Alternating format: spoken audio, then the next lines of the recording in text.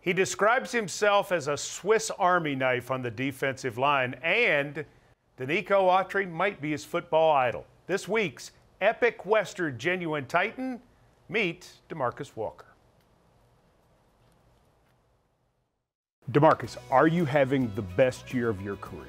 Statistically, you know, uh, yes, correct. Um, you know, uh, this this has been a blessing so far, and you know, to have a lot of success. You know, uh, it's been surreal because I'm a hard worker, and you know, just to see the fruits, you know, of your labor pay off, start to pay off. You know, it's it's surreal.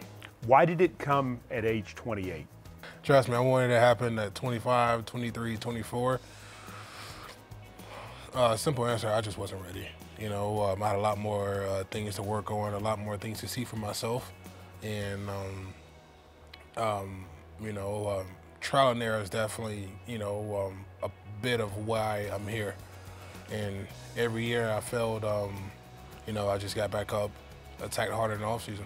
I read that you had a stutter when you were a young man, Correct. and so you like to encourage kids who have a stutter to not be ashamed, to keep working through it, and to understand there's nothing wrong with someone who stutters. Absolutely. I mean, no one's perfect, and you know, um, in Denver, I was I started my own foundation for speech impediment kids, and sometimes I might have that situation where I might get caught up on my words.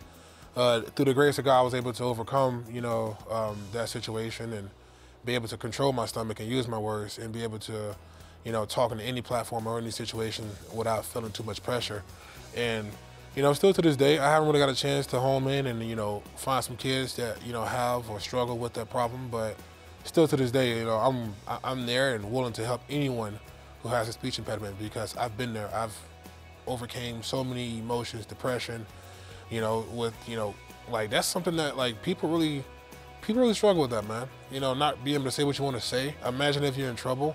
Imagine if you just mad or sad, you're not let, you're not able to get your words out. Now was that kid one day. So being able to have um, you know, a strong stomach and be able to use, you know, my words correctly, you know, I'm so thankful for. You sit down with DeMarcus Walker, you cannot help but really enjoy the guy.